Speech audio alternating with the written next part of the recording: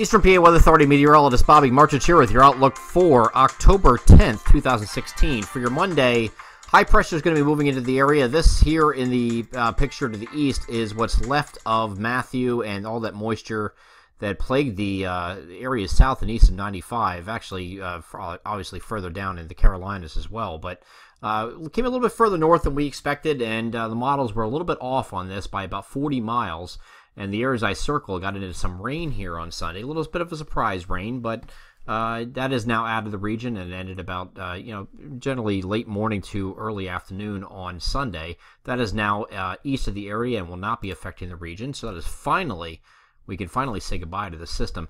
In the meantime, we're going to have high pressure moving into this area. We had some very windy conditions yesterday. I do think we're still remaining breezy today, at least early on and uh, that's because this pressure gradient is still a little bit tight here in the morning. So we're going to have some winds out of the north, about 10 to 15 miles per hour, with higher gusts to about 25, and then I think we die down later in the day. So it should not be a it should be an improving day as far as uh, the winds are concerned, but uh, high pressure is going to be in control, so that means we're going to have mostly sunny conditions to start the work week. Going a little bit forward here, uh, we're going to have temperatures here in the 60s today. Temperatures are going to get in the lower 60s, maybe not even out of the 50s, out of the far northern areas. And for the first time this season, we're going to introduce the frost possibility overnight.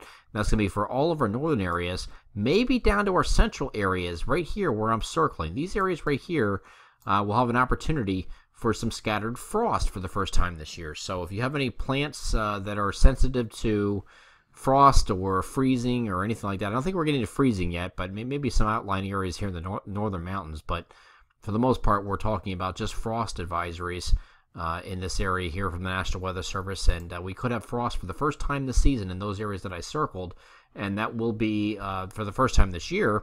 But also uh, excuse me, is, is also we're going to have uh, high pressure and control through Tuesday.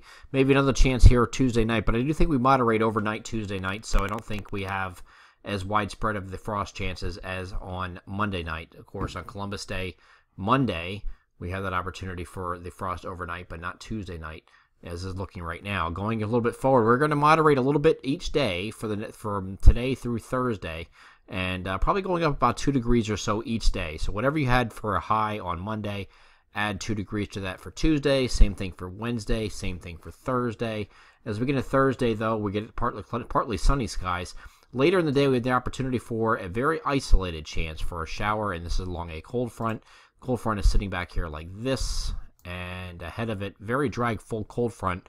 Uh, this down here is what's left of Nicole that is going to be moving away from the area, and that will not be affecting this region, at least we hope. I mean, I'll tell you what, Matthew really played some games here with us with, with the extent of, uh, you know, the tracks that were modeled for, uh, you know, more than five days out were really, really incorrect. Actually had this thing looping down to the south. That did not happen. Uh, Matthew, of course, and it continued up in this direction like this. Uh, Matt, uh, Nicole is now moving out into this region here. This is within five days, so we're going to trust that this is correct and it's going to move outside of the region and not affect the area. Uh, just a light shower possible, a very isolated chance for that late late in the day on Thursday uh, for across our much of our coverage area, and then we get more high pressure moving in here for Friday and again on Saturday. Now we're going to be watching for a system coming in here for Sunday. Maybe have an opportunity for a shower. I think that's going to be falling apart. The next chance for a cold front is going to be moving through, it looks like, uh, as we get into later in the day on Monday, and that's right here.